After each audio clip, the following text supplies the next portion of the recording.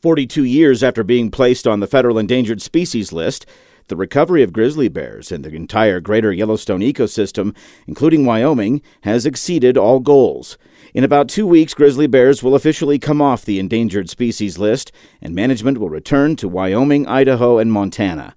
Wyoming Game and Fish Wildlife Division Chief Brian Nesvik says in the time since the bear was officially listed to today, the Wyoming Game and Fish Department and sportsmen have played a major role in recovering the species.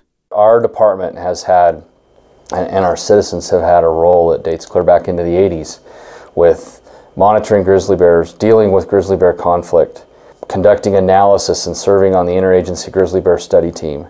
Most of the, the good research that we have today on grizzly bears went through or was initiated by folks associated with that study team, and we, the, the, the, Game and Fish Department, has been involved in that. Grizzly bear numbers have actually been at recovered levels since 2003, and it's the second time the U.S. Fish and Wildlife Service has delisted this species. The delisting decision is a tribute to Wyoming's management of the species. Financially, Wyoming spent $45 million for recovery, some game and fish biologists spent the bulk of their careers trapping, collaring, and relocating grizzlies, reducing bear conflicts with humans, and building and maintaining relations with the public. Changes in technologies also happened. Radio collars became real time GPS collars for tracking bears. Bear spray was introduced as an effective deterrent, and bear proof storage products became household items for some people.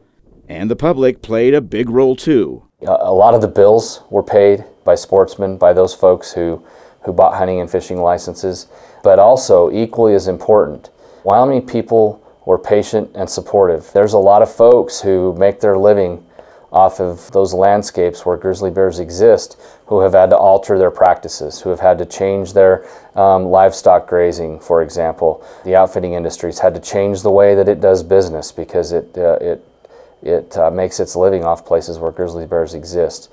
Sportsmen have had to change the way that they that they recreate in the backcountry and in places where grizzly bears live, and and all of that support and all of that uh, willingness to contribute to recovery, both financially and through behavior, they, they deserve a huge amount of the credit for this success story. The population estimate in the area where grizzlies are monitored is estimated conservatively at 690 bears, with Wyoming having the largest share of the population. Wyoming, Montana, and Idaho all have management plans and mechanisms in place to ensure grizzly bear populations remain above recovery criteria and will coordinate management efforts. Any consideration of hunting grizzly bears in Wyoming will come after a public discussion allowing for ample time to take input. This is Ray Hageman with the Wyoming Game and Fish Department.